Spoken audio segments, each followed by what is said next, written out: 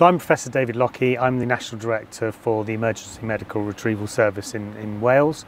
Um, I had a long background working in pre-hospital emergency medicine in other air ambulances in the UK and I've also been um, involved in the development of pre-hospital emergency medicine nationally.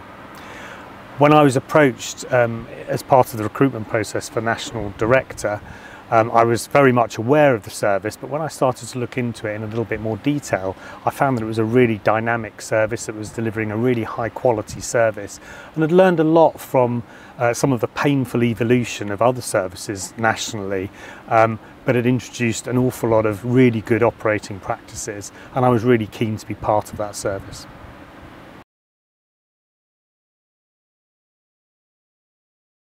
Air ambulances in the UK and um, and in Europe have evolved tremendously in the last 20 years. Um, initially, there was an idea that basically helicopters are fast ambulances, and that's a, a, very outdated concept. What we try and do is deliver an advanced medical team to the scene.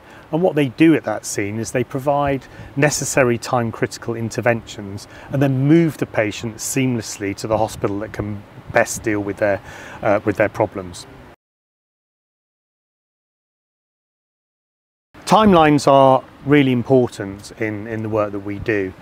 The concept of the golden hour is a very outdated concept and was very arbitrary and been, has been substantially discredited now.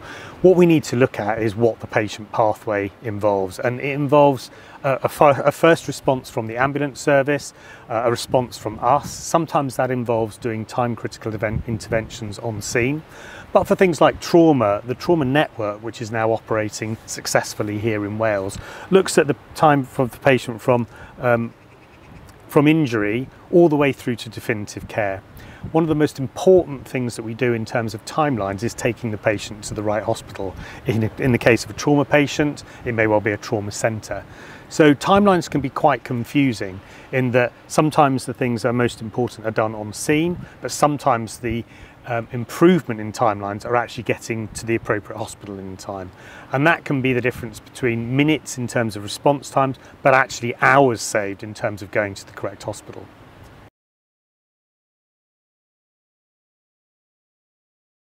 So to the answer the question about unmet demand, the most important thing is having data on, on what the demand is. And we're really lucky here in Wales that we've got really high quality data, much higher quality data than most air ambulances have got to base their service delivery on. So the motivation, both for the charity and for the NHS part of the organisation, EMRTS, um, it's unusual in that this has not been about funding. This is not about saving money. This is about using the existing resources that we have to provide a better service.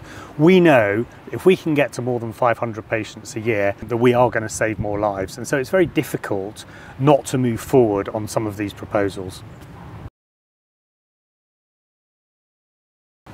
So we recognise that um, changing the location of our bases and our working hours uh, will provide concerns for local communities. But having seen the data and understood it as clinicians, it's really we can it's not something that we can ignore because we know that if we see more than 500 patients more per year, we will save more lives.